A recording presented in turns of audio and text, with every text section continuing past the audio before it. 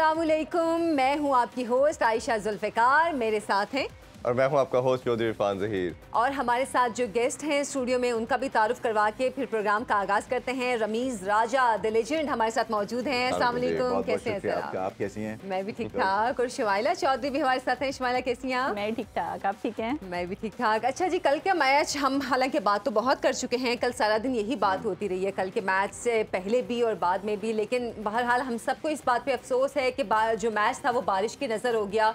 और दोनों टीम्स को एक एक पॉइंट तो मिल गया है लेकिन जो एक्सपेक्टेशंस थी जो एक्साइटमेंट थी वो कहीं ना कहीं मुतासर हुई है उस मैच के हाँ। नामुकम्मल होने की लेकिन उसमें ना दो चीज़ें रमीज भाई बड़ी इंटरेस्टिंग हुई वो मैं रात को देखा था दो स्टैट्स इस हाफ़ मैच के अंदर भी आ गए हम्म। एक स्टैट ये कि पहली दफ़ा किसी बॉलर ने बोल्ड आउट किया रोहित शर्मा और विराट कोहली को दैट इज़ शहनशाह अफरीदी दूसरा स्टार्ट ये था कि एशिया कप में पहली दफ़ा हुआ किसी दस विकेट फास्ट बॉलर ने ली। ये मेरा ख्याल है कि एक हाफ़ इनिंग्स के अंदर भी दो रिकॉर्ड बन गए। और अगर ये वेकअप कॉल नहीं है पाकिस्तान की सिलेक्शन के कमेटी के हिसाब से या जो थिंक टैंक है तो फिर क्या है कि हाँ। आप भारत के खिलाफ स्पिन पे दारोमदार आप सक्सेस करनी हो सकती। बिल्कुल ऐसे हम्म। तो और बॉलिंग बहुत अच्छी की है।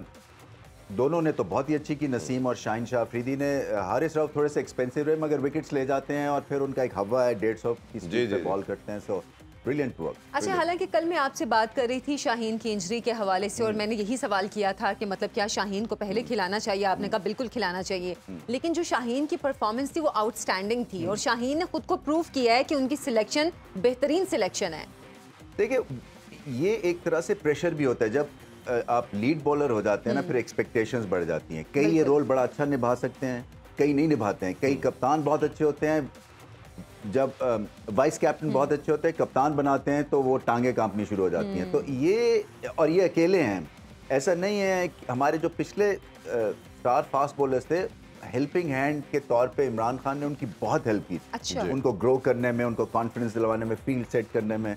तो ये तो इनके साथ तो कोई ऐसा नहीं है। आइकॉनिक फिगर बिल्कुल। वो तो, उस बात भी हम यही कर रहे तो थे। ये उस लिहाज से भी और फिर लीड करते हैं तो इसका एक अलग टेम्परमेंट होता है। एक्सपेक्टेशंस हम्म। के हिसाब से अपने आप को खड़ा करना बहादुरी के साथ मुकाबला करना और फिर नेवर गिव अप की इनकी एक बॉडी लैंग्वेज चाहे वो फ़ील्ड कर रहे हो बॉलिंग कर रहे हो बैटिंग कर रहे हो ये हंड्रेड परसेंट देते हैं। अच्छा एक मैच पे ए, ये पाकिस्तान और इंडिया के मैच से पहले हम एक दिन पहले बात भी कर रहे थे। आपने कहा था कि शाहीन और शाहिद दोनों के हवाले से जो इंडियन बैटर्स हैं वो कंफ्यूज होते हैं कि मतलब ये कैसा अटैक करेगा। मतलब वो उम्मीदें पूरी आपको होती नज़र आई? देखे ना वो एक तरह से वो शेल शॉक दिखे वो। एक तरह से डिजास्टर या इस तरह की अनहोनी चीज़ एक्सपेक्ट कर रहे थे क्योंकि वो ज़्यादा सरप्राइज़ नहीं थे आउट होने पर। हाँ थोड़ा बहुत जेस्टर तो बंदा करता है कि ये क्या हो गया। बट किसी को ये ऐसा नहीं लगा कि ये चीज़ जो है कोई अनहोनी हो गई है। बिल्कुल ऐसे। ये ऑन द कार्ड्स था। ये शाहिन शाह अफरीदी की ग्रेटनेस है मैं कहूँगा बॉलिंग के हिसाब से कि उसी एंगल पे उनको फिर बीट कर दिया। बीट कर। तो इसका और, और उन्होंने कम अज कम मेरे ख्याल में इंटरनेशनल को पच्चीस तीस हज़ार स्कोर किया हुआ रोहित शर्मा ऐसे ही। बिल्कुल। अच्छा इसमें भी इसमें इंपॉर्टेंट एक चीज़ जिस सिलेक्शन के हवाले से आपने बात की अब वर्ल्ड कप भी इसके बाद है। एहसान उल्ला के हवाले से मैं बात करना चाहूँगा। एक ऐसा फास्ट बॉलर हमारी जो मट्टी है वो बड़ी फर्टाइल है इसमें वो बड़ा ज़बरदस्त प्रोड्यूस करते हैं। एक ऐसा बॉलर जो कंटिन्यूसली 150 प्लस नॉच की बॉलिंग करता है। हम्म। और एक ऑटोमेटिक चॉइस माइंड में आती है कि यार ये हर गिवन चॉइस जो भी आपकी सिलेक्शन है ये बनती है। तो अब जब सब हमने देख लिया है शदाब के साथ क्या हुआ नवाज़ के साथ क्या हुआ तो आपको लगता है कि इस लड़के को अगर वो ठीक हो जाता है रिहैब उसका कंप्लीट हो जाता है वर्ल्ड कप में रखना चाहिए? मुझे ये पता नहीं कितने फिट हैं वो।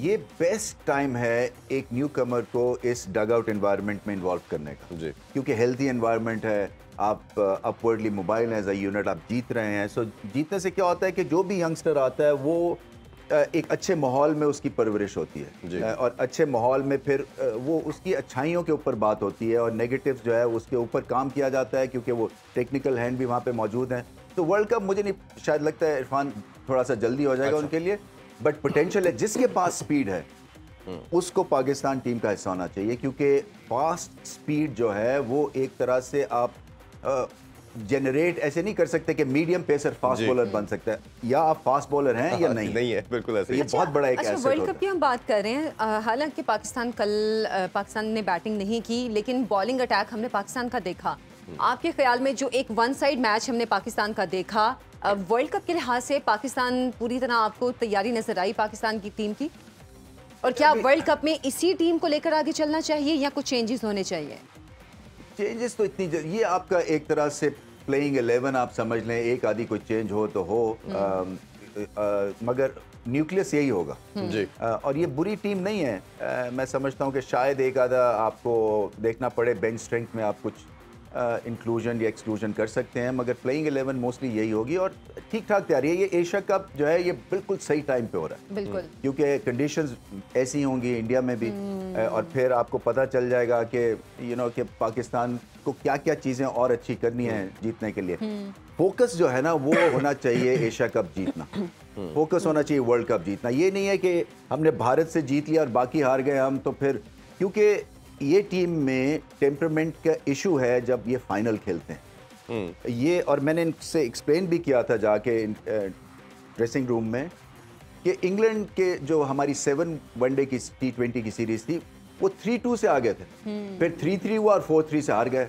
इसी तरह एशिया कप में पहले ये जो दुबई में हुआ था श्रीलंका से एक पूल मैच हारे और फिर फाइनल हार गए। इसी तरह वर्ल्ड कप में फाइनल हार गए। तो एक जो वो लास्ट स्टेप है ना वो इनको लेना है। और सारी जो जिद्दोजहद है ना और जो फोकस है वो है जीतने के ऊपर। ये नहीं है कि हमने भारत को जीतना है। हमने चैंपियन बनना है। चैंपियन बनना क्योंकि जब चैंपियन बनेंगे तो फिर धाक दुनिया में बैठेगी। ये बात अच्छा तो उसका क्या लगता है रमीज भाई मेंटली कोई ऐसा ब्लॉक आ जाता है इनका या एग्रेशन की उस टाइम पे वीकनेस है? या क्या आपको समझते हैं जब लास्ट लाइन क्रॉस करने में कहीं ना कहीं ये फंस जाते हैं? देखिए ये जो सर्किट है ना और ये जो गेम है ये दो गलतियाँ दो लॉसेस अब बर्दाश्त नहीं कर सकती। आपके सिस्टम में एक तो आप गलती करके मैच हार सकते हैं या एक बुरी परफॉर्मेंस जो है वो अलाउड है। मगर कंटिन्यूली दो या तीन वो अलाउड नहीं है। क्योंकि इतना ज़्यादा आपके पास हेल्प है एनालिटिक्स हैं आप खुद समझते हैं आपके इतनी लीग्स खेलते हैं आप हर सिचुएशन से थ्रू हुए होते हैं।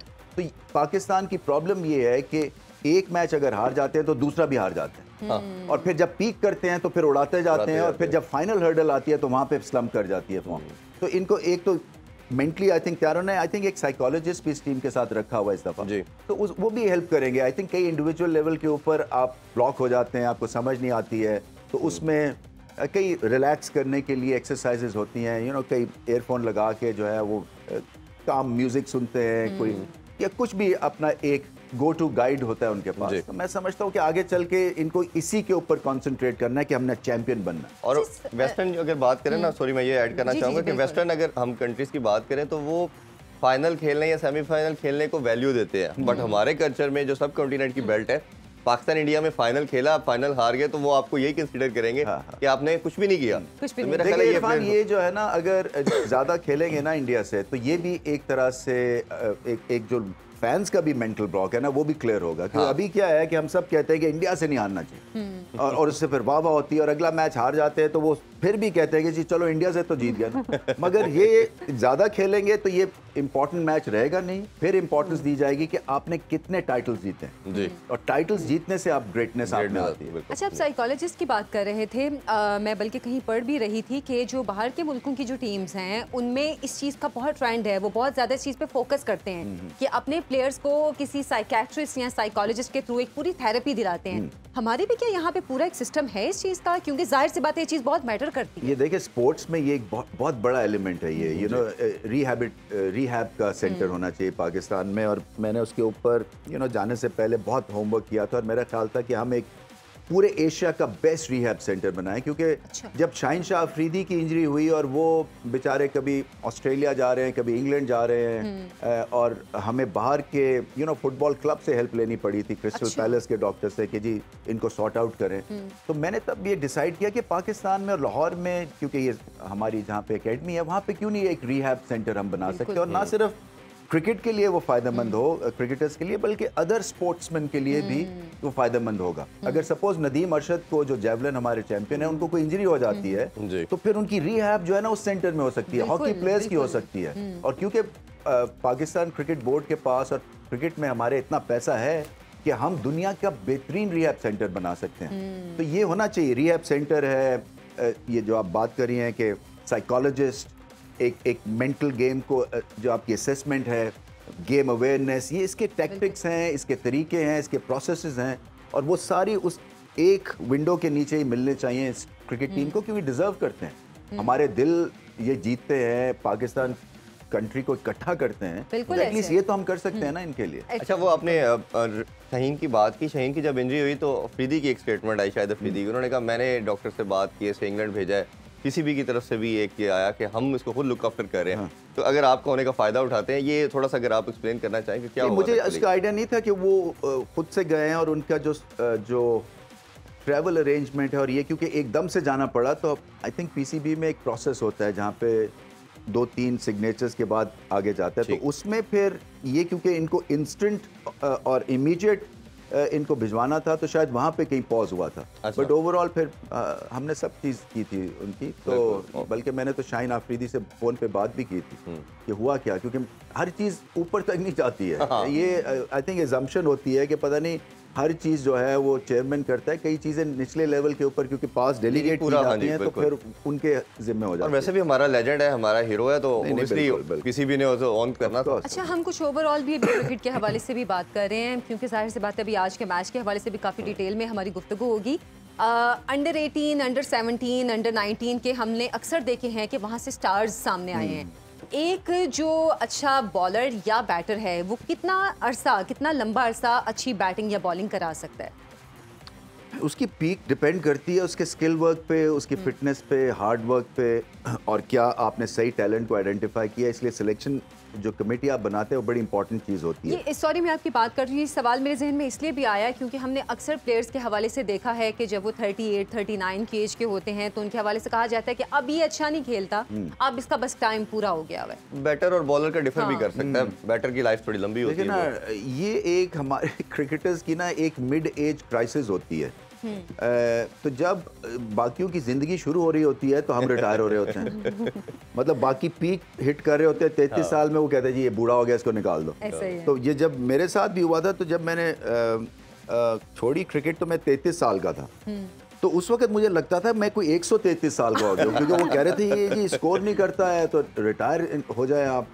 तो वो आपको एक बड़ी ज़बरदस्त चोट लगती है। और फिर जब आहिस्ता आहिस्ता आप आते हैं मार्केट में सोसाइटी में दोबारा क्योंकि हम ना ब्लिंकर्स ऑन करके क्रिकेट खेलते हैं। तो हमें नहीं पता होता कि बाहर मुल्क में क्या हो रहा है क्या नहीं हो रहा। हमें यही होता है कि अगला मैच खेलेंगे स्कोर करेंगे आगे जाएँगे टूर है ये और वो और सडनली फिर आपको रियलिटी में आप समझते हैं कि नहीं तैतीस साल इतनी बड़ी उम्र नहीं है। बड़ी उम्र नहीं है। तो तो ये इसी तरह से होता है। असल में ये आपके रिफ्लेक्सेस स्लो हो जाते हैं। आपका सिस्टम जो है ना थोड़ा सा ये स्लो डाउन हो जाता है और ये एक नेचुरल फिनोमेना है। मगर इ- इस टेबल में मुझे ऐसा कोई चीज़ नहीं दिखाई दे रही है। अच्छा मेरे इसमें दो इम्पोर्टेंट चीज़ें मैं आपकी बात से निकालना चाह रहा हूँ। एक तो ये कि हमारे कल्चर का पार्ट ये है अनफॉर्चुनेटली कि इधर रिटायरमेंट का कोई सिस्टम नहीं है। मैं नाम ले सकता हूँ दस बारह ऐसे लेजेंड कि जिनका पता ही नहीं रिटायरमेंट अभी तक उन्होंने कभी अनाउंस भी की है कि नहीं की। दूसरा ये है कि एक सिस्टम ये होना चाहिए हमारे इस कल्चर के अंदर जो स्टार्टअप मिलता है प्लेयर को जो एक ओबियसली फेम मिलता है। वो एक सर्टन केज के अंदर रहता है। उसी और के अंदर वो अपनी सारी लाइफ गुजारता है। वो उस शेल से वो बाहर भी नहीं आना चाहता। जो एक ऑस्ट्रेलिया या इंग्लैंड का सिस्टम देखें बच्चा तैयार होता है वो खुद अपनी पीक पे छोड़ता है। इन दोनों चीज़ों को कैसे देखते हैं आप? देखिए ये बड़ा मुश्किल सवाल है। इसलिए कि कई दफ़ा क्रिकेट बोर्ड की भी गलती होती है कि वो अपने हीरोज़ को रिगार्ड नहीं करते हैं। यू नो डाइन आउट ठीक तरह से नहीं करते हैं। तो और दूसरा कई दफ़ा प्लेयर्स भी ये समझते हैं कि देखिए एक दफ़ा आपने डिसाइड कर लिया ना मेंटली कि मैंने जाना है तो फिर कम नहीं हो सकते हैं। तो यहाँ पे एक ट्रेडिशन भी होगी और सिर्फ़ पाकिस्तान के नहीं है। अ, मुझे याद है सनत जयसूर्या ने दो तीन दफ़ा रिटायरमेंट के बाद वापसी की थी और वो दिल नहीं मानता है। तो आपको डिसीज़न बड़ा स्ट्रांग होना चाहिए। जब आप कर लेना तो उसके बाद फिर स्टिक करना चाहिए ताकि सबको आइडिया हो कि कहाँ आप हैं। मगर अब क्योंकि इतनी प्राइवेट लीग्स हैं कि आपकी जो एज है ना खेलने की वो बढ़ती जा रही है क्योंकि उनको 40 साल का भी एक बंदे की ज़रूरत होती है। उनको 38 साल की भी होती है। मगर जो आपका रोबस्ट इंटरनेशनल सर्किट है ना वहाँ पे आपकी एज लिमिट जो है ना वो मेरे ख्याल में मिड थर्टी से ज़्यादा नहीं चल सकती है। हाँ। अ, तो इसमें है आई थिंक थोड़ा सा हमारा सिस्टम जो है ना इसको इनक्रेज करना चाहिए। अ, होता ये है कि वो आपकी एक लिमिटेड विंडो होती है। आप हाथ पाँव मारते हैं कि मैं देखे आगे कुछ फ्यूचर का पता है नहीं। तो मैं जितने पैसे बना लूँ जो भी कर लूँ वो इस विंडो में कर लूँ। बिल्कुल। हालाँकि अब जो विंडो है उसमें बहुत पैसा है। हम्म। और मुझे पता है कि हम प्लेयर्स को जो है जो उनकी ईयरली इनकम है वो मतलब है बाकी गेम्स पाकिस्तान तो छोड़ दें हाँ, इंटरनेशनल लेवल के ऊपर मैच करते अच्छा हैं। एक हमें मैसेज भी आया है पहले वो मैसेज आप तक कन्वे कर देते हैं फिर उसके बाद हम अपने डिस्कशन को आगे बढ़ाएँगे। एक हमारे व्यूअर हैं उन्होंने हमें मैसेज किया है कि कल के मैच में रमीज़ राजा को हमने बहुत मिस किया है। obviously everybody wants to listen in the commentary box तो obviously सबका ये बहुत ये ज़्यादा था जी मैं feedback कर है रहा था एशिया कप अ, और उसके बाद कुछ आई थिंक पॉलिटिक्स लड़ी है। और मैं कई दफ़ा सोचता हूँ कि अगर आप अ, पाकिस्तान के लिए स्टांस लेते हैं और क्रिकेट के लिए स्टांस लेते हैं तो फिर आई थिंक फैंस को भी ये समझना चाहिए कि उस स्टांस की इज़्ज़त हो। है ये नहीं हो सकता है कि वो क्वाइटली क्योंकि हमारा यही होता है कि जो स्टांस लेता है वो एक तो समझ नहीं आती उनको ये किस वजह से ले रहे हैं। सबको क्रिकेट बहुत पसंद है एक्सपर्ट्स भी हैं आम चेयर एक्सपर्ट्स बहुत ज़्यादा हैं। मगर मैं सोचता हूँ कि अगर आप राइट पाथ पे हैं तो फिर ये चीज़ें आपको हर्ट नहीं करती हैं। क्योंकि आपका स्टांस जो था वो बड़ा क्लियर था कि एशिया कप जो है वो पाकिस्तान में होना चाहिए। बिल्कुल होना चाहिए। तो और और कल के मैच के बाद तो मेरा ख्याल है हर तरफ़ से यही आवाज़ें उठ रही हैं कि ये बहुत गलत डिसीज़न था श्रीलंका में मैच शिफ्ट करना पाकिस्तान में होना चाहिए था या किसी और वेन्यू दुबई वगैरह में भी हो सकता था। पाकिस्तान में होना चाहिए। देखे ना हमारी अपनी इज़्ज़त हमने खुद करवानी है। हमारी टीम बेहतरीन है। और उसके अलावा हमारे पास फैसिलिटीज़ हैं। हम इतना ज़्यादा आओ भगत करते हैं। हमारा सिक्योरिटी लेयर्स जो हैं वो दुनिया की बेस्ट हैं। इस वक्त जो इंटरनेशनल आते हैं ना जो ये सिक्योरिटी के ऊपर एक्सपर्ट्स हैं तो वो भी इन्वॉल्व होते हैं। जी, जब पाकिस्तान का टूर कोई का- properly आता है, वो सारा तो वो नहीं उसके अलावा भी रहते हैं यहाँ पे थ्रू आउट रहते हैं। वो कहते हैं कि हमने दुनिया में ऐसी सिक्योरिटी तो वो तो आँखें बंद करके कहते हैं कि प्लीज़ कम और फिर इसके अलावा जो प्यार मोहब्बत है और जो तरसी हुई ये फैंस हैं उनके लिए भी तो आपको कुछ ऐसे फर्म स्टेप्स लेने जब आपके आप जब चेयरमैन पीसीबी थे तब न्यूजीलैंड ने पहले आने से इनकार किया इंग्लैंड ने इनकार किया उसके बाद वो टीमें आई और उन्होंने इस चीज़ को एक्सेप्ट किया। एक्स्ट्रा मैचेस खेले खेले। और प्रेसिडेंशियल जो एक स्टेटस दिया जाता है टीम को मेरा ख्याल बहुत बड़ा है।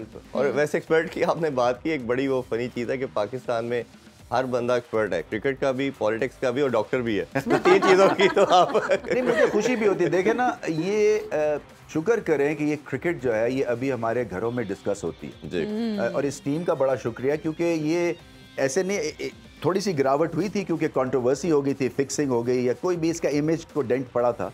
उसके बाद फिर टेक ऑफ़ किया। जब से ये प्रेजेंट लॉट आया कि पिछले चार पाँच साल से हमारी जो टीम की इज़्ज़त भी हो रही है और इन्होंने इज़्ज़त बनानी पड़ी थी क्योंकि वो जो फ्यास्को हुआ था लॉर्ड्स के ऊपर वो जो फिक्सिंग का उसके बाद बहुत डेंट पड़ा था। Yes. उसके बाद फिर से हमने टेक ऑफ़ किया है और वो परफॉर्मेंस के थ्रू किया और आप देखें कि उस का तस्करा ज़्यादा नहीं होता है सिर्फ़ बाबर आज़म एंड कंपनी का तस्करा होता है। अ, मेरा ख्याल है ये दो स्टैट्स है हम मैम से पूछते हैं हेड टू हेड बताइए आज के मुबारक हो पहले तो आपको। Thank you very मौसम की रिपोर्ट थी। ये देखे ना वो ठीक है हम इतने फ्रस्ट्रेटेड रहे कल के जिसकी था नहीं मगर आप जीत गई आप मेरी रिपोर्ट को ऑन नहीं हाँ, कर रहे नहीं मैं बिल्कुल नहीं अच्छा दो चीज़ें बताइए एक तो लाहौर की आज वेदर रिपोर्ट के बारे से बताएँ और हम सब टोटली क्लियर है। और दूसरा ये बताइए कि दोनों टीमें अफ़गानिस्तान और बांग्लादेश कितनी दफ़ा खेल चुकी हैं हेड टू हेड ओवरऑल भी और एशिया कप में भी। ओवरऑल में तो ये 14 खेल चुकी हैं और इसमें से बांग्लादेश जो है वो विनर रही है एट उसमें एट मैचेस में और उसके बाद अफ़गानिस्तान है उसने सिक्स जो है वो विन की हैं। एशिया कप में टोटल चार हुए हैं जिसमें जो है वो अफ़गानिस्तान नंबर वन पे रही है। उसने तीन जीते हैं और उसके बाद बांग्लादेश ने सिर्फ़ एक। तो देखा जाए तो टोटल में जो है वो बांग्लादेश का पलड़ा भारी पलड़ा था। भारी अच्छा वैसे मुझे पर्सनली ये लगता है कि अफ़गानिस्तान की टीम जो अब जिस भी मैच में आती है वो मैच इंटरेस्टिंग होता जा रहा है। क्योंकि वो टीम बहुत स्ट्रांग बन के उभर रही है बहुत आगे आ रही है। उनकी बैटिंग लाइन भी अच्छी है उनका पेसर अटैक भी अच्छा है और बाकी भी उनके जो फॉर्मेट्स हैं वो अच्छे हैं। आगे आने वाले दिनों में या आगे आने वाले जितने भी वर्ल्ड कप हैं या सीरीज़ हैं अफ़गानिस्तान सबसे ज़्यादा टफ टाइम किसको दे सकती है? सभी को दे सकती है इसलिए कि ये इनकी जो ग्रोथ हुई है ना एज अ क्रिकेट नेशन वो अनपैरेलल है। बिल्कुल। जो हालात हैं अफ़गानिस्तान में हम सब जानते हैं टर्बुलेंट माहौल है इतना ज़्यादा केओटिक माहौल है। और उसमें आपने एक स्पोर्ट को संभाल के रखा हुआ संभाल के रखा हुआ और इनको फंड्स भी आईसीसी जो है वो डायरेक्टली नहीं रिलीज़ करते हैं बिकॉज़ उनको खतरा ये है कि कहीं ये पॉलिटिशियंस के हाथों में ना लग जाए और फिर ये दूसरी तरह से इस्तेमाल ना हो। तो उसके इन इतनी रिस्ट्रिक्शंस के बावजूद और फिर जो इमेज है रिगार्डिंग खवातीन तो उसके ऊपर भी जो आईसीसी लेवल और इंटरनेशनल लेवल जो जो जो आपके वफ्त होते हैं वो खुश नहीं है। ऐसे ही। वो ये कहते हैं कि, कि इनको क्यों हम फंड्स देते हैं जबकि इस्तेसाल होता है और एक तरह से एक नेगेटिव पिक्चर जो है वो आईसीसी लेवल पे पोर्ट्रे की जाती है। उसके बावजूद ये टीम जो है ये खड़ी है। ये मैचेस जीतती है। इनके पास सुपरस्टार्स हैं पोस्टर बॉयज़ हैं इंटरनेशनल क्रिकेट में। और ये एक मतलब है मेरिकल से कम नहीं है। ये जो अफ़गानिस्तान की स्टोरी है ये मेरिकल से कम नहीं है। और मेरा ख्याल है इतना सफोकेट एटमोस्फेयर में परफॉर्म करना और कंटिन्यूसली करना ये भी और फिर घर पे नहीं खेलते हैं। हाँ। देखे ना पाकिस्तान आठ साल या कितने साल घर पे नहीं खेला था श्रीलंकन इंसिडेंट के बाद। हमारी क्रिकेट जो है वो ऐसे करके रॉक बॉटम पे चली गई। क्योंकि आप जब घर से बाहर खेलते हैं तो लॉटरी है ना। हाँ। आप आपके अवे टूर्स ही हो ही जा रहे हैं फैंस के क्लोज नहीं रहे हैं आप। फैंस जब ताली बजाते हैं तो आपको हौसला मिलता है वहाँ पे नहीं मिलता ना। तो ये इस लिहाज से भी अफ़गानिस्तान की बहुत बड़ी फतह है। बिल्कुल अभी एक छोटा सा ब्रेक लेते हैं जी। ब्रेक से वापस आके अफ़गानिस्तान और बांग्लादेश मैच वाले से बात करेंगे। Don't go anywhere stay with us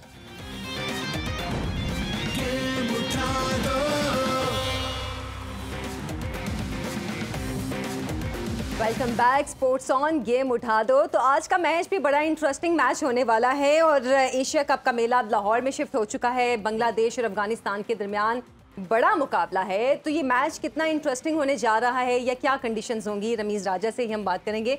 अच्छा रमीज सर जैसे कि हम बात करें अफ़गानिस्तान की हमने बात की कि वो काफ़ी मैचेस जीता हुआ है। अफ़गानिस्तान अ, बांग्लादेश बहुत मैचेस जीते उनका पलड़ा भारी है। अफ़गानिस्तान के साथ ये मुकाबला इनका कैसे देख रहे हैं? आपस में कम खेले हैं ये दोनों। देखिए ये जो अ, हमारी लाहौर की पिच है ना ये है बैटिंग फ्रेंडली। और बैटिंग फ्रेंडली में बांग्लादेश को थोड़ा सा एडवांटेज हो जाएगा क्योंकि गेंद जहाँ ग्रिप नहीं करता है वहाँ पे जो अफ़गानिस्तान के स्पिनर्स हैं ये थोड़े से फंस जाते हैं। पीएसएल में भी राशिद को जो सबसे ज़्यादा प्रेशर उसकी बॉलिंग पे क्रिएट हुआ था वो लाहौर में ही हुआ था। जी। अच्छा, तो अच्छा। ये बैटिंग सरफेस होगी इसमें कोई शक नहीं है। बहुत ज़्यादा 300 स्कोर हुए हैं। और चेस डाउन भी हुए हैं 300 से ज़्यादा। तो उस लिहाज से तो एक तरह से बांग्लादेश थोड़े से एडवांटेज उनको मिलेगा but having said that spin department Afghanistan का आउटस्टैंडिंग और ये देखने के लायक है इसलिए ये मैच जो है ये इंटरेस्टिंग है। अच्छा मुल्तान की पिच और लाहौर की पिच क्या डिफरेंस है इसमें ज़्यादा? ज़्यादा नहीं है अ, असल में देखें ये है ऑफ़ सीज़न क्रिकेट पाकिस्तान। और ऑफ़ सीज़न क्रिकेट से मुराद ये है कि आपकी पिचेस जो है ना ये उस तरह का रिस्पांस नहीं देती जैसे कि सीज़न में पिच देती है। इतनी हीट है। कि वो जितना भी घास होता है ना वो उड़ जाता है। बिल्कुल वो वो वो वो सस्टेन नहीं कर सकता। अच्छा और उसके बाद फिर आप रोल करते हैं तो वो बिल्कुल एक तरह से ना मडी सी उसकी लुक आती है और उसमें जान नहीं होती है। तो जब जान नहीं होगी तो आपके पेसेस नलीफाई हो जाते हैं। स्पिन भी नहीं ज़्यादा होता क्योंकि उसमें कोई ग्रिप नहीं होती है। तो इस लिहाज से ये थोड़ी सी ना प्रिडिक्टेबल हो जाती है क्रिकेट और क्रिकेट की जो वर्स्ट चीज़ है वो ये है कि प्रिडिक्टेबिलिटी आ जाए। कि पहले से पता चल जाए होना क्या हाँ। जी ऐसे। अभी एक पैकेज तैयार किया जी अफ़गानिस्तान और बांग्लादेश के हवाले से वो देखते हैं फिर डिस्कशन करते हैं। जी आप लोगों ने पैकेज देखा।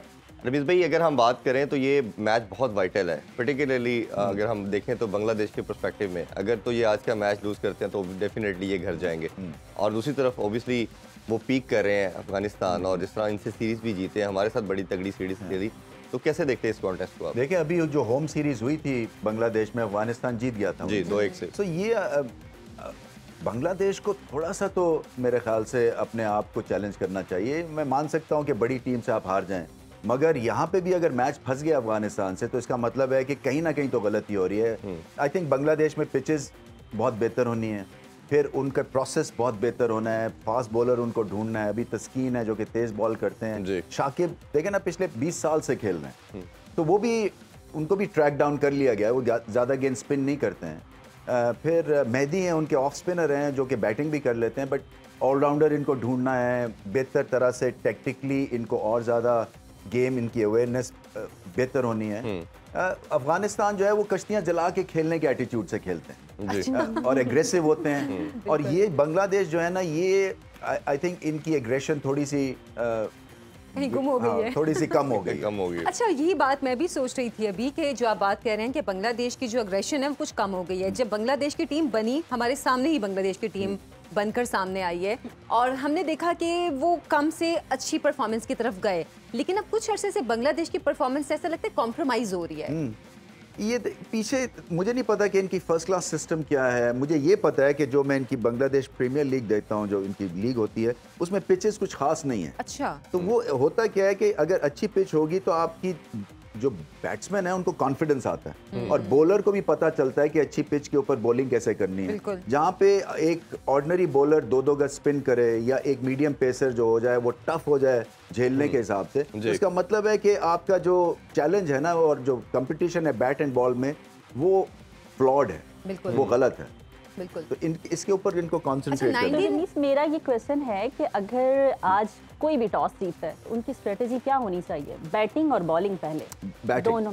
Batting Okay. इसलिए कि अगर बैटिंग सरफेस है तो कोशिश यही करें कि आप इतना स्कोर कर दें कि फिर आप जो है अ, उनको टाई डाउन कर सकें अ, क्योंकि वो फिर वो गलतियाँ करेंगे। हम्म। अफ़गानिस्तान को स्पेशली पहले बैटिंग करनी चाहिए क्योंकि उनका जो स्ट्रॉगर फ़ील्ड है वो बॉलिंग है। बॉलिंग तो जब बॉलिंग स्ट्रांग होती है तो फिर आप कंटेन कर सकते हैं। और अगर आपकी बॉलिंग स्ट्रांग नहीं है तो फिर आप बैटिंग सेकंड करते हैं कि चलें अब 300 भी हमें खा लेते हैं तो हम चेस कर लेंगे। अच्छा और न्यू फैक्टर भी नहीं आ रहा। न्यू फैक्टर भी मेरा ख्याल है लाहौर में ऐसा जब नहीं है तो मेरा ख्याल है। हाँ जी, क्लियर है। हाँ सिर्फ़ hot 1988 में जो एशिया कप बांग्लादेश ने होस्ट किया था आप भी तब उस टीम का हिस्सा थे वहाँ पर आप गए थे। तब के जो बंगाली थे और अब के जो बंगाली उनमें डिफरेंस क्या देखते हैं आप? इनकी जो करेंसी है वो बड़ी स्ट्रांग हो गई। इनके इकोनॉमिक हालात जो हैं वो हमसे बहुत बेहतर हो गए। हैं और ये कि अच्छा टीम के मोराल के लिए या उनकी मेंटल हेल्थ पे ये चीज़ें भी बहुत असरअंदाज होती हैं। बिल्कुल बिल्कुल। आप जिस माहौल में उठ बैठ रहे हैं उससे कॉन्फिडेंस मिलता है। अब हमारी जो इस वक्त हालत है अब तो आपको कॉन्फिडेंस नहीं मिलता ना कि पता नहीं कल क्या होगा। तो वहाँ पे ये है कि स्टेबिलिटी है और वो दुनिया के मुकाबले में जो है वो कम्पीट कर रहे हैं। सर मैं भी सबसे बांग्लादेश के परस्पेक्टिव में अगर बात करें तो हमने जिस तरह पहले मैच में बात की रिटन दास का और तमीम इकबाल का ना होना ये उनको डेंट करेगा। और वही हुआ कि वो उसके बाद मिडिल ऑर्डर रिस्पॉन्सिबिलिटी ले नहीं पाया। तो कैसे देखते हैं कि जो यंगस्टर हैं ओबियसली एक अपॉर्चुनिटी भी उनके पास है कि वो कुछ कर सकते हैं। इनका ना होना कितना हार्मफुल हो सकता है? देखिए ये होता तो है इसलिए कि एक्सपीरियंस का कोई तोड़ नहीं है। और ख़ास तौर पे ऐसी टीम के लिए जहाँ पे you not spoiled for choice yes मगर बेंच स्ट्रेंथ इनको स्ट्रांग बनानी है। एक दो अच्छे नए प्लेयर्स आ रहे हैं हृदय है जो कि अभी एलपीएल में खेले हैं। सुपर टैलेंट है वो। मुश्किल पिच पे बड़ी अच्छी batting- ने बड़ा हाँ, ज़बरदस्त खेला। मगर ये है कि इनको कोई गाइड गाइड करने वाला भी चाहिए। ये ऐसे ही करते हैं कि 20 रन अच्छे करेंगे 30 रन अच्छे करेंगे उसके बाद आउट हो जाते हैं। अ, आपने बाबर आज़म और मैं फिर से ये कहता हूँ कि जो बाबर आज़म का बैटिंग का जो एक ब्लूप्रिंट है ना वो सबको फॉलो करना चाहिए। क्योंकि वो आपको बताता है कि आप खड़े रहें अगर आप दो एक दो ओवर्स आराम से भी खेलें ज़्यादा चौके छक्के ना भी लगाएँ there is still light at the end of the tunnel और फिर आप अगर 50 ओवर को टारगेट करते हैं तो आप फिर स्कोर करे ही करेंगे। ये क्या करते हैं? ये पैनिक एक मोड में चले जाते हैं। जेन मोड से पैनिक मोड में चले जाते हैं। तो जबकि ऐसा नहीं होना चाहिए क्योंकि क्रिकेट खेलते हैं। और वो इसलिए भी होता है कि अगर आपके सिस्टम जो होता है जहाँ पे एक लोअर टीयर का सिस्टम है जो फ़र्स्ट क्लास का है वहाँ पे आपकी सही तरबियत ना हो। क्योंकि जो भी परफॉर्मेंस टॉप टीयर की है ना ये रिफ्लेक्शन है of your first class system जी। तो इनका first class system I think fine tune होने वाला अच्छा है। उस दिन बाबर आज़म कह रहे थे कि हम लोग श्रीलंका में दो ढाई माह से मौजूद हैं हम यहाँ पर लीग्स खेल रहे हैं हमें यहाँ की कंडीशंस का बहुत अच्छी तरह अंदाज़ा है। अब जो पाकिस्तान और ख़ासतौर पर लाहौर में बांग्लादेश की टीम भी खेल चुकी है अफ़गानिस्तान भी खेल चुके हैं यहाँ पर लेकिन पहली मरतबा दोनों यहाँ पर आपस में टकराएँगे। आपके ख्याल में होम ग्राउंड वाली सिचुएशन किसके लिए हो सकती है? 2008 के बाद आई थिंक बांग्लादेश खेल रहा है यहाँ पे वनडे गेम और ये अफ़गानिस्तान का पहला वनडे गेम है। टी ट्वेंटी शायद खेले हैं वो। जी जी। जी जी। बांग्लादेश ने भी एक टूर किया था हाँ, टेस्ट सीरीज़ की थी ये कंडीशंस जो हैं ये माइल्ड हैं। ये ऐसी नहीं है कोई बड़ी डाइसी कंडीशंस है ये बड़ी डिफ़िकल्ट कंडीशंस हैं कि आप झेल नहीं सकेंगे। यहाँ पे तो बल्कि आपको कॉन्फिडेंस आना चाहिए। बिल्कुल। यहाँ पे बांग्लादेश को कुछ भी स्ट्रेटजी के पॉइंट ऑफ़ व्यू से करना है रन रेट ऊपर लेके जाना है प्रेशर क्रिएट करना है और देखें at the end of the day Afghanistan अभी एक्सपीरियंस वाइज थोड़े से रॉ है। तो उनकी बैटिंग भी जो है वो इतनी ज़्यादा स्ट्रांग नहीं है। गुरबाज हैं उनके ओपनर जो बहुत अच्छा खेलते हैं। ऑलराउंडर्स हैं दो तीन मगर वही एक एक स्टेबलाइजर हैं। सो वो अगर जल्दी आउट हो जाते हैं तो अफ़गानिस्तान की बैटिंग लाइनअप पे प्रेशर पड़ सकता है। अच्छा। हशमतुल्ला है उनके कप्तान है वो भी हिट एंड मिस हो गए हैं। वो जब से उनको गेंद लगाया ना हेलमेट पे तो वो बाउंसर के ऊपर थोड़े से नरमे हो गए अच्छा एक रवि भाई अफ़गानिस्तान के पॉइंट ऑफ़ व्यू से जानना चाहूँगा। हम सब जानते हैं कि ऑल अटैक करते हैं टोटल एग्रेशन दिखाते हैं। बट क्रिकेट में बोला जाता है जैसे गेम अवेयरनेस की बात करते हैं साथ एग्रेशन के साथ कंट्रोल्ड एग्रेशन की बात करते हैं। उसकी प्राइम एग्जांपल हमें ऑस्ट्रेलिया में नज़र आती है। जिस तरह उन्होंने 99 का वर्ल्ड कप के जीतने के बाद 10-15 साल उन्होंने राज किया क्रिकेट के ऊपर और एक कंट्रोल्ड एग्रेशन के साथ क्रिकेट खेली वो मेरा ख्याल है उससे खूबसूरत एग्ज़ाम्पल हो नहीं सकती। तो आप क्या मैसेज देना चाहेंगे अफ़गानिस्तान को लिए कि ये फॉर्मेट को इस सीक्वेंस को फॉलो करें अपने क्रिकेट के अंदर?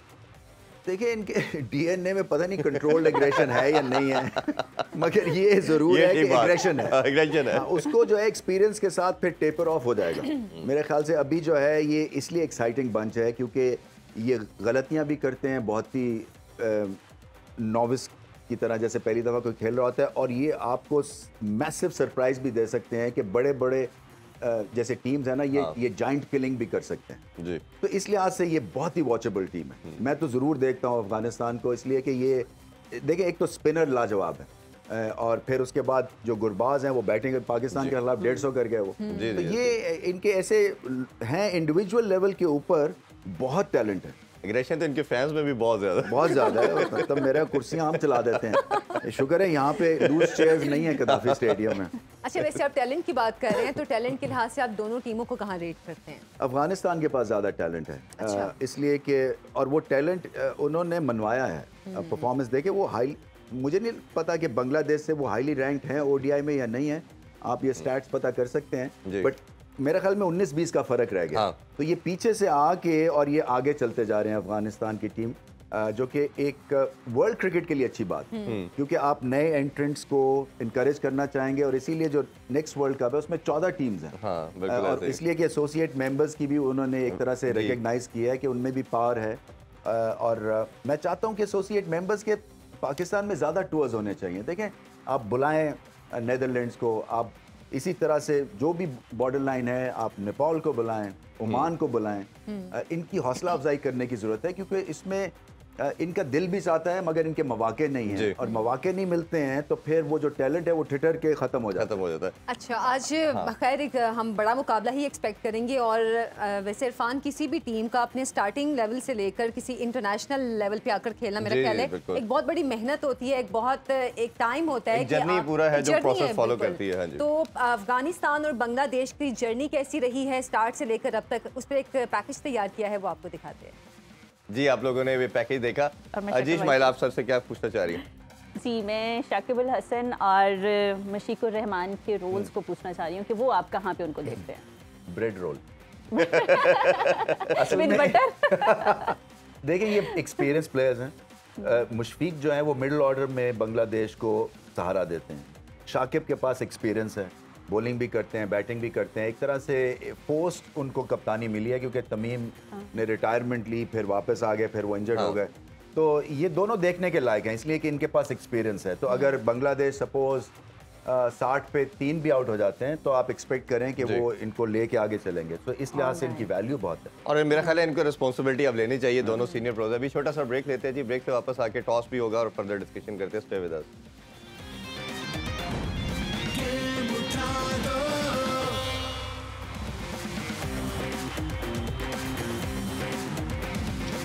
welcome back. Sports on game उठा दो। एशिया कप का आज मुकाबला लाहौर में होगा। अफ़गानिस्तान और बांग्लादेश के दरमियान कुछ ही देर में टॉस भी हो जाएगा तो हम टॉस पे भी जाएँगे।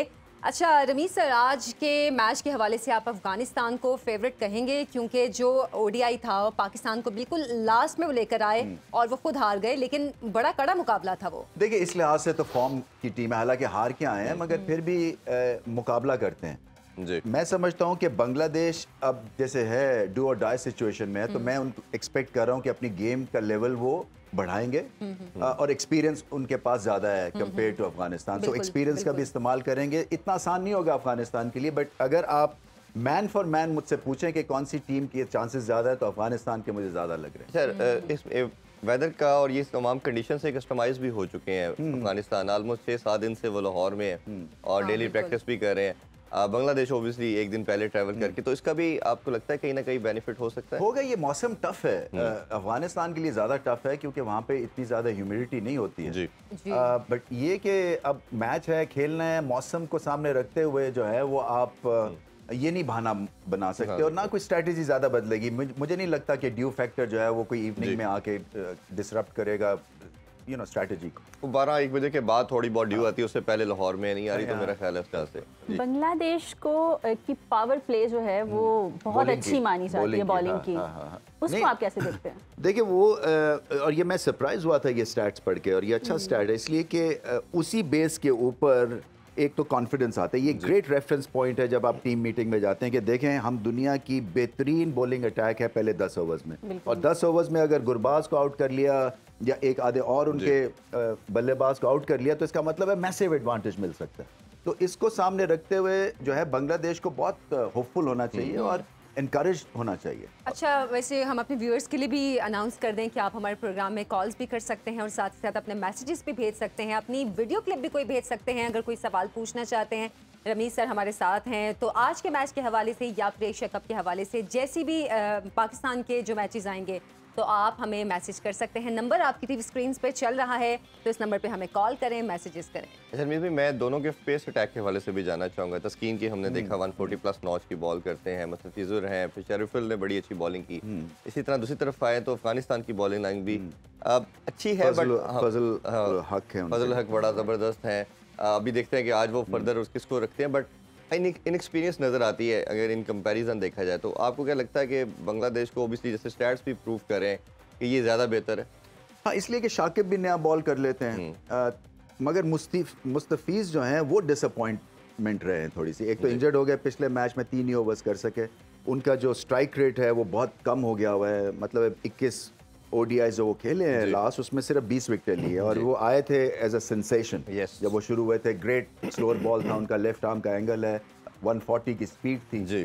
तो ये भी मुझे समझ नहीं आती है कि ये डिटेरिएशन कैसे आ जाती है क्योंकि अभी उनकी उम्र भी नहीं है। सो या तो उनको माहौल नहीं मिलता है या उनकी रिहैब ठीक नहीं होती है जब वो इंजर्ड होते हैं। हालाँकि आईपीएल भी खेलते रहे हैं वो। जी जी। अ, तो अब बांग्लादेश को बॉलिंग में खास तौर पे जैसे ने कहा पहले 10 ओवर्स में तो एडवांटेज मिल सकता है। अफ़गानिस्तान के पास अगर उस तरह का बॉलिंग अटैक फास्ट बॉलिंग नहीं है मगर स्पिन जो है उनकी जो कवर्ड है वो ज़बरदस्त है। अच्छा अभी जैसे इरफान भी बात कर रहे थे कि बांग्लादेश की ये अफ़गानिस्तान की टीम तो छः सात दिन से यहाँ पे लाहौर में मौजूद हैं। वो बहुत हद तक यहाँ की कंडीशन के साथ एडजस्ट हो गए हैं। हाँ। और बांग्लादेश की टीम तो कल आई है। तो आपके ख्याल में कि बांग्लादेश या अफ़गानिस्तान में बांग्लादेश को अफ़गानिस्तान के खिलाफ क्या स्ट्रेटजी में डिफरेंस करना होगा कि वो पावर प्ले की बात कर रहे हैं आप कि पावर प्ले में वो अपने उसी पोजीशन को बरकरार रखें? देखिए जल्दी आउट करना पड़ेगा और ये सोच के जाना पड़ेगा कि हमने ऑल आउट करना है। ये ऐसी विकेट है कदाफी स्टेडियम की कि अगर आपने विकेटें नहीं ली तो मैच हाथ से निकल सकता अच्छा। हाँ ये जैसे इफ्तार ने किया था ना नेपाल के अगेंस्ट के पाकिस्तान स्ट्रगल कर रहे थे पहले बिल्कुल। दो विकेटें गिर गई थी फिर दस ओवर में चालीस पचास हुआ था और आखिर में आपने देखें कि क्या उन्होंने फिर किया। तो ये कदाफी में भी ऐसा हो सकता है अच्छा। कि कोई भी एक बैटिंग प्लेयर जब थोड़ा सा भी जम गया तो फिर वो धुनाई कर सकता है। तो आउट करने से क्या होता है कि स्कोरिंग रेट ड्रॉप होता है। आउट करने से आपका रिदम किल होता है। और क्या बांग्लादेश के पास इतने वसाइल हैं आफ्टर फ़र्स्ट टेन ओवर जी अरमीत भाई अभी इसे कंटिन्यू करते हैं। इस तरह ये आउट करना ज़रूरी है इसी तरह ब्रेक भी बड़ी ज़रूरी है। ब्रेक के बाद वापस आके फर्दर डिस्कशन करते हैं। Stay with us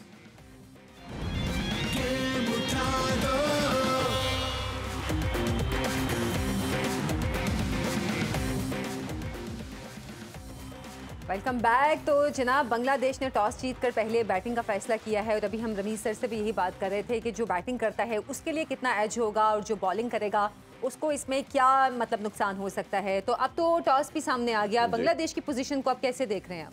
नहीं अच्छा है टॉस जीते और बैटिंग करें। उन्होंने मौसम की भी बात की है गर्म तो है सो है। टेस्ट करेगा इनको।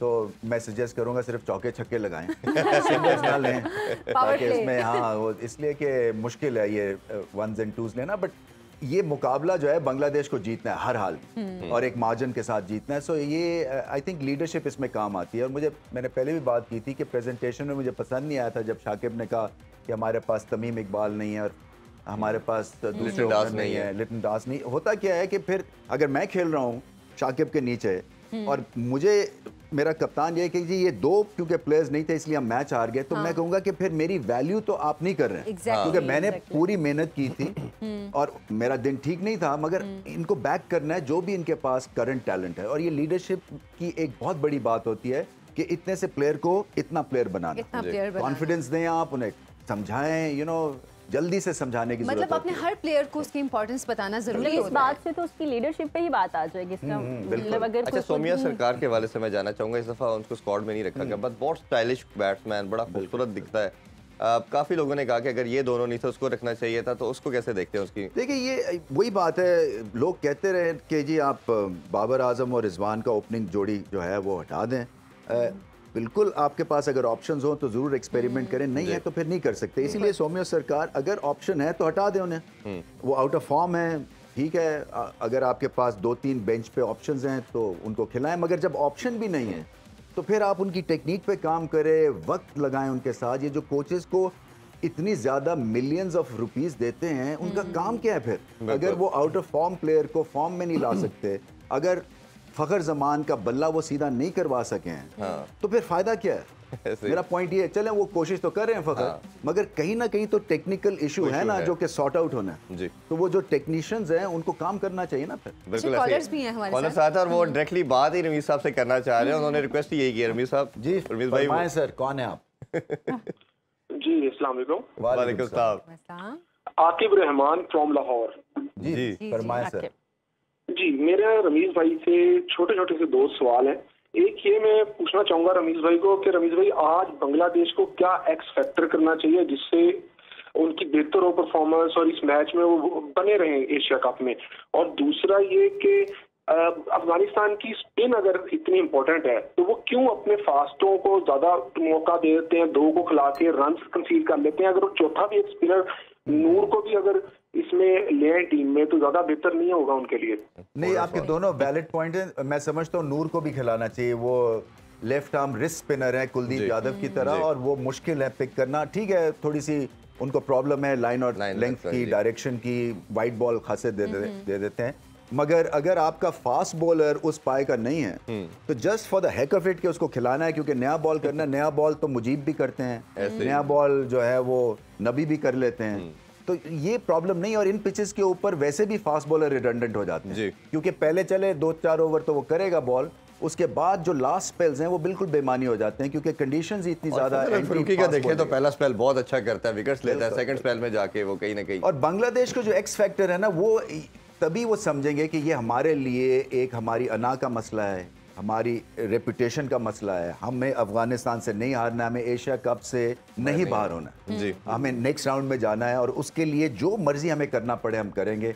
अपनी जो है ना जंप जो है ना वो कहते हैं ना जब आपको सामने पता हो कि गाड़ी ने आपको हिट कर देनी है तो आपकी जो एक सर्वाइवल की जंप होती है ना वो दस गुना ज़्यादा हो जाती है। ऐसे ही। तो इनकी भी जो जंप है ना वो सर्वाइवल की जंप है। और उसको दस गुना ज़्यादा इनको जंप करना करना है। और पहली चीज़ वैसे ये है कि हम पहली टीम बन चुके हैं जो सुपर फोर में क्वालिफाई कर चुके हैं। और देखते हैं कि आगे ये फाइट कैसे रहती अच्छा सुपर फोर की हम बात कर रहे हैं पाकिस्तान क्वालिफाई तो कर चुका है। अब कल के मैच का भी रिज़ल्ट आपने देखा कि पाकिस्तान के खेलने से पहले ही बारिश हो गई। आगे किसी पाकिस्तान के मैच में ऐसे ही बारिश हो जाती है तो फिर वो क्या सिचुएशन आप देखते हैं? देखिए मुझे उसका शेड्यूल का तो नहीं पता बट पाकिस्तान सेफ़ ही है जी। क्योंकि जो क्वालिफाई करके आएँगी टीम्स ठीक है वो टफर राउंड है उनका। बट छः तारीख को घर में खेल रहे हैं घर में पाकिस्तान को हराना बड़ा मुश्किल है ओडीआई में जिस तरह से ये खेल रहे हैं। जी। ऑस्ट्रेलिया को यहाँ हराया था उन्होंने साढ़े तीन सौ का रन चेज कर दिया था तो कॉन्फिडेंस है इस टीम को और फिर ये कि हर पिच के हिसाब से बॉलिंग कॉम्बिनेशन है और बैटिंग कॉम्बिनेशन बिल्कुल ठीक। अब मोहम्मद फरूक साहब ने मैसेज किया लाहौर से वो पूछना चाह रहे हैं आपसे कि हमारी बॉलिंग लाइनअप शुरू में हमेशा आउट करती है बट एक ब्लॉक आता है 20 ओवर के बाद और उसके दरमियान ये रन के सीड करते हैं विकेट नहीं ले पाते उसके क्या सोल्यूशन है? देखिए उसमें एक तो अ, मेरी भी ये फ्रस्ट्रेशन है क्योंकि इतनी ज़्यादा मेहनत करके आपने रोहित शर्मा को आउट कर लिया आपने विराट कोहली को आउट कर लिया शुभमन गिल को आउट कर लिया। तो उसके बाद तो कहानी आसान होनी चाहिए ना। उसके बाद तो वो प्रेशर में है। और आप पे आप प्रेशर में आ जाते हैं। इसलिए कि टेक्टिक्स जो है वो बेहतर होने आई थिंक आपको जाना चाहिए फॉर द किल इसलिए अदरवाइज़ ये शाइन आफरीदी की ग्रेटनेस और हारिस रऊफ की ग्रेटनेस और मेहनत और नसीम शाह की आउट सब ज़ाया हो जाती है। तो आपको इनको बताना है कि अगर हम पहले 10 ओवर्स में तीन विकेटें ले लेते हैं या 15 ओवर्स में तो आपके स्पेल्स जो हैं हम ज़्यादा करवाएँगे। बिल्कुल। और इस मैच को फिर आप देखें एज अ 40 ओवर मैच क्योंकि आप में इतनी सलाहियत है बॉल आउट करने की टीम्स को। आपके पास इतनी आपके पास पोर्टिंग फोर्स है। स्पिनर्स को थोड़ा सा और डिसिप्लिन दिखाना ये नहीं हो सकता आप फुल टॉस भी करें और हाफ़ ट्रैकर्स भी फेंकें और जो आपके लेफ़्ट आर्म स्पिनर है वो गेंद को ज़्यादा स्पिन ना करें। तो फिर वो रेगुलर एक ट्रैफ़िक शुरू हो जाती है ना। तो वो फिर वो फिर हमला होता है और हम फिर कह सकते हैं कि हमारे बॉलर्स कुछ टाइम के बाद एक दो विकेट्स के बाद ओवर कॉन्फिडेंट हो जाते हैं क्योंकि जब आप में कॉन्फिडेंस भी ज़्यादा आ जाए तो भी आप गलतियाँ करते हैं देखिए नहीं ऐसा नहीं होता है। मैं समझता हूँ कि उस फ़ेज़ में एक तो विकेट्स मिलनी चाहिए। हम्म। ज़्यादा की बात नहीं है मगर ये कि पार्टनरशिप ना लगने दें और फिर फील्डिंग अपनी उसके थ्रू हम्म। प्रेशर क्रिएट करें। देखिए मिडिल फ़ेज़ में अगर आप की सलाहियत कम हो गई है विकेट लेने की तो आपके पास जो नेक्स्ट ऑप्शन है वो ये है कि हाफ़ कैच को भी पूरा कैच बनाएँ सिंगल्स रोकें फ़ील्ड को अंदर ही रखें।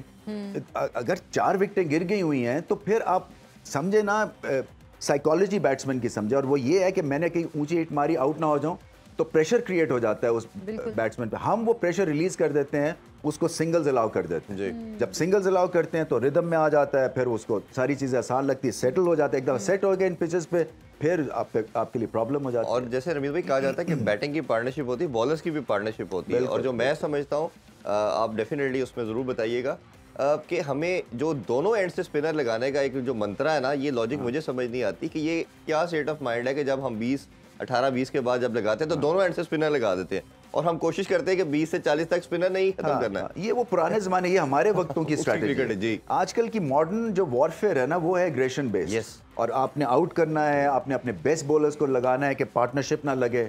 और आपने देखा भारत के खिलाफ जैसे ही शाइन आफरीदी आए फिर उन्होंने आउट कर दिया। दिया, हार्दिक पांड्या को आउट किया नहीं तो 300 स्कोर हो जाना था।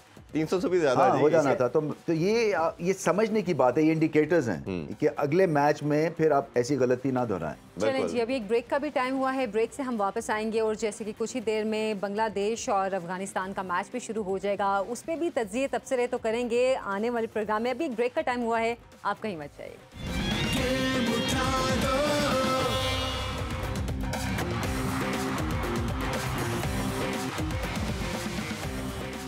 जी welcome back in sports on हम बात कर रहे हैं पाकिस्तान वर्सेज एशिया कप के हवाले से और बांग्लादेश और अफ़गानिस्तान का टॉस हो चुका है। प्लेइंग इलेवन के हवाले से भी डिस्कशन करते हैं स्क्रीन पे दिखाते हैं जी। जी रमीज भाई पहले हम बांग्लादेश की अगर डिस्कस कर लें तो चेंजें की गई हैं। चेंजेस की गई हैं और आ, मुझे ऐसा लगता है कि वो दे मीन बिज़नेस ये जो तोहीद रिदॉय हैं। ये यंगस्टर हैं 20 साल के हैं बहुत अच्छा टैलेंट है। शाकिब जो है इसको सहारा देंगे बैटिंग को बॉलिंग के साथ भी। शांतों ने बड़ी ज़बरदस्त इनिंग बिल्कुल हाँ तो ये जो इनका टॉप ऑर्डर है ना इसको फ़ंक्शन करना चाहिए कदाफी स्टेडियम की पिच के ऊपर। बैटिंग पहले कर रहे हैं। अफीफ जो है ये मतलब है ये स्टेडी प्लेयर हैं। ये लेफ़्ट हैंडर हैं so right and left hander का कॉम्बिनेशन दिया गया है। बाकी मुस्तफीज मुस्तफीज नहीं है। हाँ, वो तो इसलिए कि वो इंजर्ड है, हाँ है जी। बाकी अफ़गानिस्तान की जो टीम है वो वही है। फजल हक फारूकी एक फास्ट बॉलर है। अच्छा, ये ये जो इनके बॉलर है रहमान उल्ला गुरबाज ये कितना थ्रेट बन सकते हैं बांग्लादेश के जो बल्लेबाजों के लिए? बहुत थ्रेट बन सकते हैं बहुत अच्छा खेलते हैं। ये पुल शॉट बड़ी अच्छी खेलते हैं फास्ट बॉलिंग अच्छा खेलते हैं। सिर्फ़ इनका प्रॉब्लम ये है कि ये 20 जब रन करते हैं ना तो ये समझते हैं 120 कर लिया इन्होंने और फिर ऊट पटांग शॉटें खेलनी शुरू कर देते तो इनको थोड़ा ना तबीयत जन्नत पे कंट्रोल करना। हाँ करीम जन्नत की इंक्लूजन एक ऐड हाँ, हाँ। की गई है इसको इनको ऐड किया गया। हाँ, तो मेरा ख्याल है सम हाउ बाकी तो वही लाइन है जो पाकिस्तान के गेम खेली थी बट एक चेंजिंग इसमें देखने में नज़र आई है। तो मेरा ख्याल है कि अभी स्ट्रेंथ जो है ओबियसली स्पिन डिपार्टमेंट पे ज़्यादा बैंक कर रही है दोनों साइड हाँ मुझे लगता है कहीं ये बैटिंग वर्सेस बैटिंग का मुकाबला ना हो जाए कि वो 300 करे और फिर अफ़गानिस्तान को 300 करना पड़े। ये जो कंडीशंस हैं ये इसी तरह की हैं। जी। आ, तो देखना यही है कि विकेट्स इन हैंड किस तरह से स्ट्रैटेजी बनाते हैं क्या पाकिस्तान की तरह खेलती हैं दोनों टीम्स जैसे मैंने कहा कि अगर आपके पास कोई बहुत बैटिंग का टैलेंट ज़्यादा नहीं है तो फिर कंजर्वेटिव गेयर लगा के और कोशिश यही करें कि पहले 10 ओवर्स में बगैर विकेट खोए हुए 40 50 तक जाएँ क्योंकि कभी भी आप रन रेट इंक्रीज कर सकते हैं कदाफी की पिच अच्छा लिटन दास की जो एब्सेंस है वो कितना असर कर सकती है बांग्लादेश नहीं इंपॉर्टेंट प्लेयर है वो रेगुलर प्लेयर है इनके और एक तरह से कॉम्बिनेशन जब हिल जाए ना तो फिर आपको थोड़ी बहुत जो है और फिर आप मैच भी हार जाएँ तो फिर आप सोचते हैं कि क्या हो सकता था। फ्रस्ट्रेशन तो है क्योंकि सबसे ज़्यादा जुनूनी फैंस जो हैं वो बंग, बांग्लादेश के हैं। बहुत फॉलो करते हैं और उनको सलाम पेश करना चाहिए क्योंकि ये कोई ऐसी भी टीम नहीं है कि जो बहुत जीतती है। मगर फिर भी वो आस बनाए हुए हैं इस टीम से और उसी रिगार्ड में ही बांग्लादेश को अब एशिया कप में अपनी गेम को उठाना।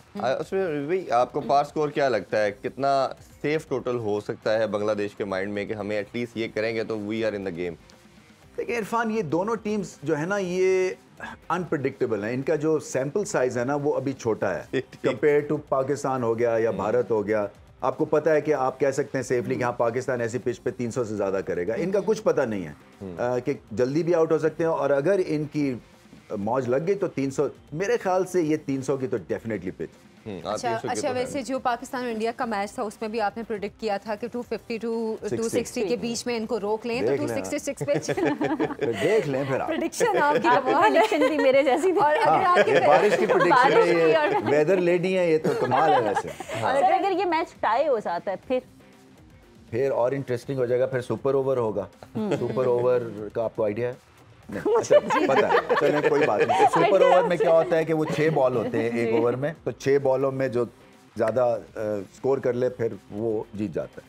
अब ये ना कहिएगा कि वो भी बराबर हो गया तो फिर क्या वो भी मैं नहीं मैं कहने लगी थी फिर मैं रुक गई। अब मेरा ख्याल है कि अब सबसे इम्पोर्टेंट चीज़ ये है अगर थोड़ा सा बांग्लादेश के इंफ्रास्ट्रक्चर के हवाले से बात करें जिस तरह आपने बीपीएल या वैसे भी देखा होगा बहुत ज़्यादा पैसा इन्वेस्ट कर रहे हैं। उनके ग्राउंड्स की बात कर लें इंफ्रास्ट्रक्चर की बात कर लें फैसिलिटीज़ की बात कर लें मेरा ख्याल कहीं ना कहीं भाई आपको लगता है कि उनका टैलेंट नहीं है उनके कंट्री के अंदर जो पीछे से उनको बैक सपोर्ट करता चला जाए? हालाँकि मुझे समझ नहीं आती है क्योंकि सारा बांग्लादेश क्रिकेट खेलना चाहता है। जुनूनी जैसे मैंने कहा फैंस हैं उसी बेस के ऊपर जो है ना आपका दिल चाहता है क्रिकेट खेलने को। और फिर रेगुलर क्रिकेट मिलती है इनको। ये भी नहीं है कि कहीं आइसोलेटेड हैं ये पाकिस्तान की तरह। तो, तो इनको इंगेज किया हुआ है। इनको सिर्फ़ थोड़ा बहुत जो है ना वो अपने अंडर 19 अंडर 17 अपने फ़र्स्ट क्लास स्ट्रक्चर के ऊपर काम करना है और पिचेस जो हैं सारे बांग्लादेश में रीले करने की ज़रूरत क्योंकि वो आपको इनकरेज करती हैं स्पिन बॉलिंग की तरफ़। और स्पिन बॉलिंग जो है वो आपको एशिया में तो काम आ जाएगी मगर कितने मैचेस खेलते हैं आप? वहाँ पे भी एशिया में भी आपसे अच्छे स्पिनर्स आ जाते हैं तो फिर वो भी नलेफा इफ़ेक्ट हो जाता है। तो आपको पिचेस अच्छी बनाएँ जहाँ पे इंटरनेशनल स्टैंडर्ड की पिच हो जहाँ पे आप इनकरेज करें फास्ट बॉलिंग तस्कीन आपके पास एक ग्रेट एग्ज़ाम्पल है एक पे बॉल करते हैं। इस तरह के बॉलर्स जो हैं वो फिर इनकरेज होंगे बॉलिंग आप, करने के आप, आप ये कह सकते हैं कि बांग्लादेश की जो कंडीशंस हैं वो ऐसी हैं कि इंटरनेशनल लेवल की जो पिचेस हैं वहाँ पे बहुत सपोर्ट करेंगी और वो ज़्यादा बेहतर होंगी? नहीं बांग्लादेश की वैसी पिचेस नहीं है। ये बांग्लादेश की स्पिनिंग ट्रैक्स होते हैं इसलिए ये इनके स्पिनर्स जो हैं वो डोमिनेट करते हैं। मगर वो दुनिया में ऐसा ट्रेंड नहीं है। दुनिया में आप देखेंगी तो आपको एक बैलेंस मिलेगा between bat and ball Bangladesh में वो बैलेंस नहीं है। अच्छा। एक उजैर ने लाहौर से क्वेश्चन पूछा है वो जाना ये चाह रहे हैं कि जो लीग का कॉन्सेप्ट है और इतनी ज़्यादा लीग करवाने के बाद भी अगर आपको टैलेंट का मकसद यही होता है उनका पूछने का मकसद ये था कि अपने लड़कों को प्रिपेयर किया जाए। तो वो बांग्लादेश के परस्पेक्टिव में पूछ रहे थे कि अफ़गानिस्तान के पास तो ऐसा नहीं है इंफ्रास्ट्रक्चर तो ये लीग भी करवा रहे हैं इतने सालों से बट फिर भी इनका मटेरियल नहीं आ रहा। देखिए हर टेरिटरी की ना एक अलग डीएनए है एक अलग स्टोरी है। सो बांग्लादेश का अलग है अफ़गानिस्तान को आप अलग से परखने की कोशिश करें। उनके ट्रेड्स क्या हैं? उनके ट्रेड्स वही हैं अफ़गानिस्तान के जैसे कि फॉर एग्जांपल शाहिन शाह अफरीदी के हैं या रिजवान के क्योंकि ये वही बेल्ट है। बिल्कुल तो ये रेजिलियंट हैं ये एग्रेसिव हैं ये नेवर से डाई की अप्रोच से खेलते हैं। इसी तरह से अफ़गानिस्तान का भी वही डीएनए है। और इसीलिए उनकी जो उछाल है जो उनकी ग्रोथ हुई है वो फिनोमिनल तरह से हुई है। बांग्लादेश जो है उनका अलग से डीएनए है। वो ज़्यादातर ईस्ट का है वहाँ पे थोड़ा सा गौर फ़िक्र ज़्यादा होता है इंटेलेक्चुअल माइंड्स हैं जो बंगाल की कहानी है। मगर आई थिंक एग्रेसिवली अब उन्होंने क्रिकेट को डेवलप करना है। उनके पास पैसा है वो लीग करवाते हैं। वो लीग भी जो है उसमें भी पिचेस बेहतर होनी है। देखें ना अब अगर जैसे एल पी एल हुई अभी लंका प्रीमियर वो अगर 140 रन हो रहे हैं टी ट्वेंटी में तो वो किसी का फ़ायदा नहीं है। तो पिचेस ऐसी होनी चाहिए जहाँ 200 स्कोर हो सवा 200 स्कोर हो कॉन्फिडेंस आता है आपको बल्लेबाज जो है उनको मज़ा आता है बैटिंग करने का आप एक्सपेरिमेंट कर सकते हैं आप फंसे नहीं रहते हैं। तो ये चीज़ें हैं जिसके ऊपर इनको कॉन्सेंट्रेट करना है अच्छा बहुत ज़्यादा। लीग्स की अभी आप बात कर रहे थे कि जैसे अब तो बहुत सारी लीग्स भी हो गई हैं आईपीएल है या पीएसएल है या बाकी मुल्कों की भी लीग्स हैं बांग्लादेश की भी अपनी लीग्स हैं क्या इस तरह के किसी बड़े इवेंट से पहले या बाद में जो लीग्स होती हैं वो भी जो ये प्लेयर्स हैं उनकी मेंटल हेल्थ पे कहीं ना कहीं असरअंदाज करती हैं या फ़िज़िकल हेल्थ पे कि कहीं ना कहीं वो उस लीग में उनका जहन फंसा होता है? हो सकता है इसलिए कि मैं ये देखें ये हम इंक्रीजिंगली टुवर्ड्स फुटबॉल के तरफ़ जा रहे हैं टेरिटरी पे। जहाँ पे इंग्लैंड वर्सेस जर्मनी का जो मैच है वो होगा दो तीन साल के बाद। मगर जो मैनचेस्टर यूनाइटेड और मैनचेस्टर सिटी का है वो हर वक्त होगा। बिल्कुल। तो ये जो है ना ये लीग्स अब उस तरफ़ धकेल रही हैं प्लेयर्स को। और देखें क्या है लीग्स की खूबी क्या है? इनका जो जो कॉन्टेक्स्ट है वो बहुत रेलिवेंट है। कोई मैच जो है वो फजूल नहीं होता। बिल्कुल अ, फिर इनकी जो जिस तरह से ये लेआउट करते हैं उस लीग को वो रेड कार्पेट है वो इसको राजमटाज कहते हैं यानी कि वो क्रिएट करते हैं एक activity around that league fan base जो है वो बढ़ता जाता है फैंस की एंगेजमेंट ज़्यादा ज़्यादा होती है मेहनत ज़्यादा करते हैं यू नो आपको ट्रैफ़िक प्लान पीएसएल का पहले से बताना शुरू कर देते हैं। और फिर सबसे इंपॉर्टेंट चीज़ है कि पीएसएल हो लें ले लें आईपीएल ले लें इसमें ना इंडिया हारता है ना पाकिस्तान हारता है। तो ये इस पे सारे खुशी खुशी वापस आते हैं कि जी लाहौर कराची का मैच हुआ हाँ। राइवलरी तो हल्की फुल्की हाँ। होती है बट जीतता पाकिस्तान। मैं बड़ा स्ट्रेंज बात आप ठीक कह रहे हैं जैसे अगर अभी पाकिस्तान का भी मैच होगा लाहौर में तो शायद आपका आधा स्टेडियम खाली हो।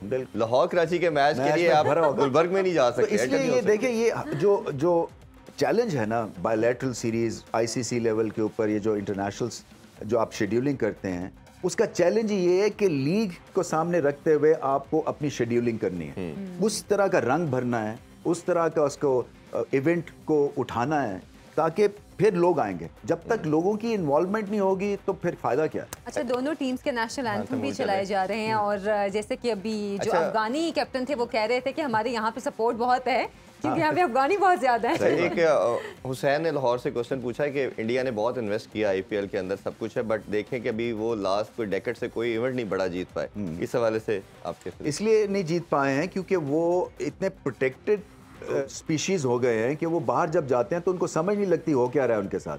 क्योंकि वो टैलेंट मुख्तलिफ़ उनको फेस करना पड़ता है कंडीशंस मुख्तलिफ़ फेस करनी पड़ती हैं और, एक तरह से अपनी जिसको कहते हैं ना सुप्रियोरिटी बनाने के लिए क्योंकि इंडियन प्लेयर्स हैं इंडियन प्लेयर्स की मार्केट है और हम ये मार्केट शेयर नहीं करेंगे किसी से ये इंडिया में रखेंगे। उससे क्रिकेट उनकी जो है ना उसकी डेवलपमेंट में ज़रूर प्रॉब्लम्स हो रहे हैं। जी। और ये आपको कल की एक नज़ारा मिला है। हाँ मिल गया क्योंकि जैसे ही आपका लेवल थोड़ा सा बॉलिंग का हुआ है तो ये एक्सपोज हो गई है बैटिंग तो ये इनको सोचना है कि इनको ज़्यादा खेलने दें। और फिर ये खेलते भी या ऑस्ट्रेलिया से ज़्यादा हैं या फिर ये इंग्लैंड से इंग्लैंड से खेलते हैं। हैं। तो वो भी एक टिपिकल सी आपकी डेवलपमेंट होती है। इन्होंने रमीज भाई अभी रिसेंटली मैं एक आर्टिकल पढ़ रहा था इन्होंने इंग्लैंड प्लेयर्स को ऑफ़र किया है कि आप इंग्लैंड काउंटी छोड़ें और पूरा साल आप हमारे पास आके खेलें। तो उस उसको ल्योर कर रहे हैं ये पैसों के साथ तो बट आउटकम देखें तो इंटरनेशनल इवेंट जीतना बड़ी चीज़ है। हाँ बिल्कुल और ये इनका बेस्ट चांस है ये वर्ल्ड कप में। अगर इंडिया में इंडिया वर्ल्ड कप नहीं जीतता तो ये बहुत प्रॉब्लम हो जाएगी। हम्म, अच्छा अभी पाकिस्तान और इंडिया का वापस मैच होगा बांग्लादेश में तो श्रीलंका में में। सॉरी तो आपके ख्याल में अब जो कल की सिचुएशन हुई है कि पाकिस्तान खेले बगैर ही मतलब वो मैच तो फिर दोनों को एक एक पॉइंट तो मिल गया क्या वेदर कंडीशंस को पहले से देखना चाहिए? अगर तो कुछ ऐसी कंडीशंस फिर बन रही हैं तो क्या वेन्यू तब्दील करने की ज़रूरत होनी चाहिए? मुझे नहीं लगता कि कहीं आप ये जा सकते हैं। वो दो वेन्यू हैं आपकी पिच हाँ। प्रिपेयर हो। चुकी है स्क्वायर प्रिपेयर हो चुका है टिकट्स बच चुकी हैं। तो आपको you have to live with it मुझे लगता है कोलंबो में बारिश नहीं होगी। अच्छा। कोलम ये कैंडी में एक क्योंकि मैं वहाँ पे था मैं भी एक महीने से था। बहुत कम बारिश हुई है श्रीलंका में। ये और शार मैं सोच रहा था कि होगा मगर इनकी प्रिडिक्शन जो है वो 100 परसेंट सही बैठी है। कल मैं एक मीम देख रही थी वेन्यू सोशल चेंज मीडिया पर। करना सॉरी हाँ जी, जी। अगर वेन्यू चेंज करना हो तो कितना टाइम रिक्वायर्ड होता है? मिनिमम वेन्यू चेंज करने के लिए पहले से होना चाहिए। ये ये डिसीज़न एक या तो स्पेयर वेन्यू हो कि जी चलें ये बिल्कुल ही बारिश की नज़र हो गया तो हम कहीं चले और जाते हैं हम बनटूटा चले जाते हैं। मगर ऐसा भी नहीं हुआ है। और ये हो नहीं सकता क्योंकि इसके बाद वर्ल्ड कप है सो ये और वैसे भी वो पहले इवेंट को पहले ही प्लान इस तरह किया जाता है। जब इवेंट का अनाउंस कर देते हैं स्केड्यूल तो फिर उसके बाद तो वो फिर नहीं चेंज मेरा था कि प्रिपरेशन के लिए कितना टाइम चाहिए होता है महीना दो ऑब्वियसली महीने वो साथ साथ ये जब प्लान कर अच्छा मुझे नहीं पता था ये ट्रेन पायलट है बाय द वे आपको बहुत तो जो आपकी जो जहाज़ में आपके उड़ाने से पहले प्रिपरेशन टाइम है बस उससे थोड़ा सा ज़्यादा। नहीं सर वो बड़ा कम होता है क्विक एक्शंस होते हैं। अच्छा मैं मीम का ज़िक्र कर रही थी कल सोशल मीडिया पे एक मीम मैं देख रही थी इंडियन कोई पेज था उस पे अ, कि मैच से पहले बारिश रुक जाए की दुआएँ कर रहे थे सब। मैच के बीच में फिर से बारिश होने की दुआएँ हो रही थी।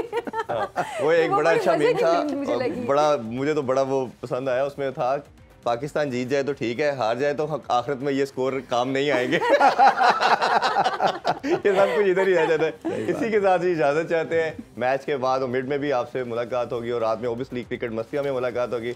अपना बहुत सा ख्याल रखें। अल्लाह हाफिज पाकिस्तान जिंदाबाद।